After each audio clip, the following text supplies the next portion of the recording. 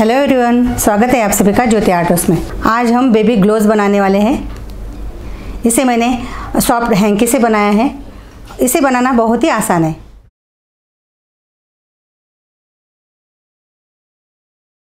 इसके लिए मैंने सॉफ्ट हैंकी लिया है। सॉफ्ट कपड़े से बेबी को रैशेस नहीं होते हैं। तो बेबी के लिए बहुत ही अच्छा रहता है। तो चलिए शुरू करते हैं मेज़रमेंट के साथ। इसके लिए मैंने एक सॉफ्ट टॉवल लिया है हैंकी लिया है। हैंकी को मैंने सेंटर में से कट कर लिया है इसे हम बेबी के लिए हैंड ग्लोव बनाएँगे। यहाँ से हम राउंड शेप देते हुए सिलाई कर लेंगे। पहले अच्छे से फोल्ड कर लेंगे।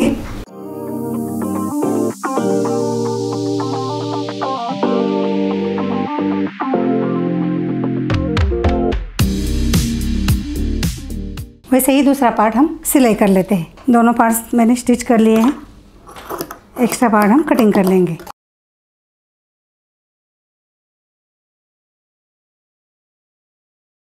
इसे हम सीधा कर लेते हैं।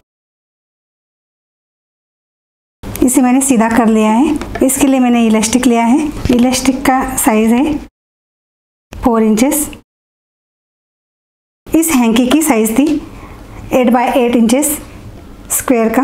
अब हम थोड़ा नीचे जाएँगे। करीब आधा इंच हम डाउन जाते हैं।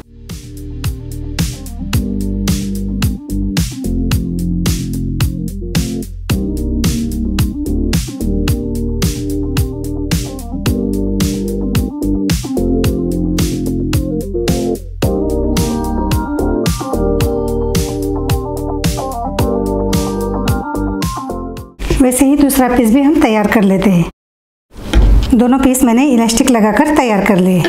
आज के बेबी मिटन्स बिल्कुल रेडी है रेडी टू यूज़ आप देख सकते हैं, बहुत ही क्यूट लग रहे हैं। आप इसे ज़रूर ट्राई कीजिएगा। मिलते हैं कुछ नया लेके।